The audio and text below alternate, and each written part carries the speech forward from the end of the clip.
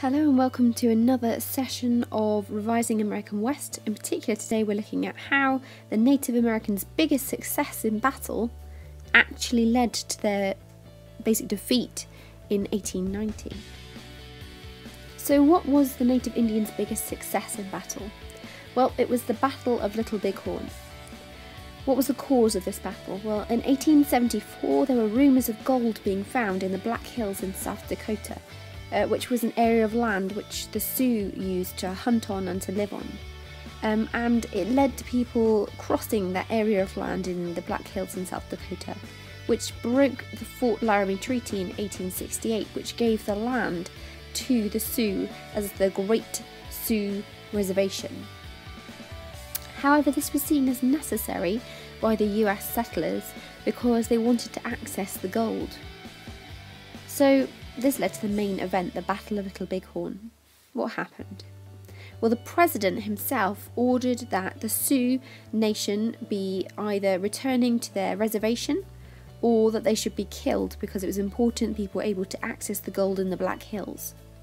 Um, and this led to some groups returning to the reservations, but also a huge gathering of Sioux Indians who did not return to the reservation and instead gathered in the valley of Little Bighorn. Um, overall, it's estimated there are around 1,000 teepees, 2,000 warriors, and maybe around 7,000 uh, native Indians or Sioux people in, in total in the valley of Bighorn. A valley is like a, a steep sided um, place where people could live. So you can see I've drawn here for you a very steep side. I think there's trees on either side, and down the bottom there would have been thousands of teepees, although there is only one in my picture. So what happened? Well, uh, the army, led by General Custer, um, amongst other generals at the time, um, had got together and they were there to make sure that the Sioux did return to their reservation. Um, and if they if they refused to leave the valley of Little Bighorn, then they were to be killed. And General Custer had about 600 men with him and two other officers uh, who were in charge of his army, Major Reno and Captain Benteen. What did Custer do? Well, he sent out some people initially to have a look at what was in the valley uh, and to see how much ammunition and how many troops the Indians had. And when they came back, they warned Custer that there were lots of troops, many more troops than they'd anticipated, um, and that they might be outnumbered by the native Indians. And they also warned him that they had very good ammunition and that perhaps the um, settlers, the US settlers and the US Army, might not have enough ammunition to defeat the native Indians. But Custer wasn't too worried about this and he ignored their warnings. What happened next? Well, Custer had a plan of attack and he had tried it before in battle and he'd often been successful, and that was to have a three pronged attack, to attack from three different directions. Custer's plan was that he would attack uh, from the kind of going along the valley and then he'd come down into the valley to attack the native Indians, the Sioux people who were there, and simultaneously also uh, Major Reno would attack uh, down the valley from one angle, and Major, sorry, Captain Benteen would attack down the valley from another angle. So the Indians would be being attacked from three different uh, sides, and it would make it difficult for them to defend themselves. Well, that was his idea. Unfortunately, Custer really rushed his attack he didn't spend any time checking out what the land would be like when he got there. So Custer went along the top of the valley and came to come down, and he and his troops got stuck in quicksand. Um, and uh, Reno and Benteen and uh, Custer and all of their army ended up getting slaughtered by the Sioux people. So there were actually no survivors of this battle that were um, settlers the only survivors of the battle were the native Indians, so they're the only accounts we have of this battle. What was the outcome of this? Well, the army was completely humiliated, and in fact, all of them were killed. Um, but although this was the native Indians' biggest success in that they totally destroyed the US Army, it wasn't entirely successful for them in the long run. Um, it also led to something called the Dawes Act in 1887. A law was passed as a result of the success of these native Indians in the Little Bighorn Valley. And the Dawes Act split up all the Indian land that existed, belonging to any of the Indian nations, not just to the Sioux people, and it split it up into 160 pieces, 160 sections. And only some of these sections of land were actually given back to the native Indians. A lot of the land was also given to other white settlers to live on. Um, and so this led to the Indians having less land than they'd had before. And the lack of land meant that they weren't able to hunt anymore. They weren't able to move off this land because of the Dawes Act. And they therefore had to farm, and this was a change to their traditional way of life. And not only this, it meant they had no opportunity to practice traditions which were really important to them, like hunting and the buffalo dances and religious practices that they'd had that went along with that.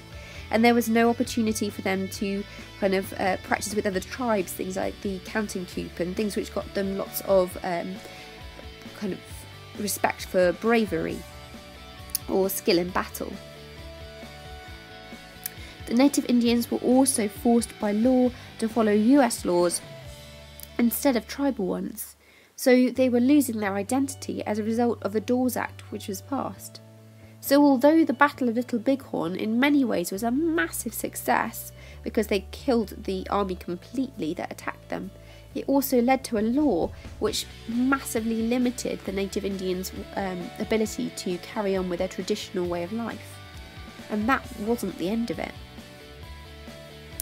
one of the last uh, battles or conflicts between the native Indians and the American settlers was the Battle of Wounded Knee, which happened in South Dakota, which is sort of in the central North America.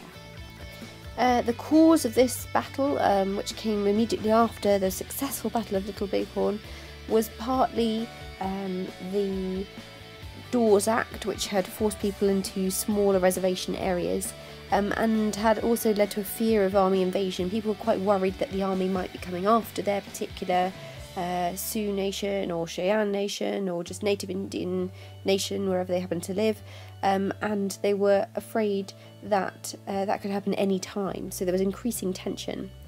Also, uh, there was a cult spreading um, known as the Ghost Dance cult um, which spread the idea that um, any day soon, um, in the late 1880s or 1890s, um, all of the ancestors, the dead ancestors of the native Indians, would return and help the native Indians to reclaim all the lost land that they'd lost to the US um, settlers.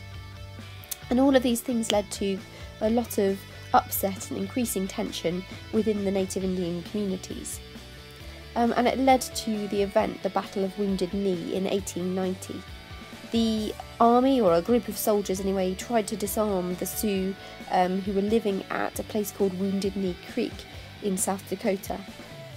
And as they tried to take their arms from them, fearing that they were getting a little bit unruly and that they might rise up against the army and they'd have a repeat of Little Bighorn, um, what actually happened was 153 of the Sioux people were killed um, so it was another tragedy, another mass slaughter. And the outcome of the event was an announcement um, in 1890 that officially the frontier was closed. So the original agreement that was the east of America, there was a line beyond which um, all of America was native Indian land, um, and that kind of frontier slowly, slowly, slowly um, gone further west now, in 1890, the American settlers announced that that frontier was closed, it didn't exist anymore. So, 1890, the year of the Battle of Little Bighorn uh, and the Battle of Wounded Knee, is generally accepted as the end of the period of conflict between the native Indians and the US settlers, the white settlers, um, which had lasted from the 1860s to 1890. I want you to use the information that you've learned about these two battles and from watching the previous videos to answer the following question. It's an 8 mark question, so it's a C question from paper 1. Uh, remember, get 3 extra marks for spelling, punctuation, and grammar. And the question is The Battle of Little Bighorn was a complete success for the Sioux Nation. So, the Battle of Little Bighorn was a complete success for the Sioux Nation. How far do you agree with this interpretation? That's the end of this podcast. Good luck with your exam.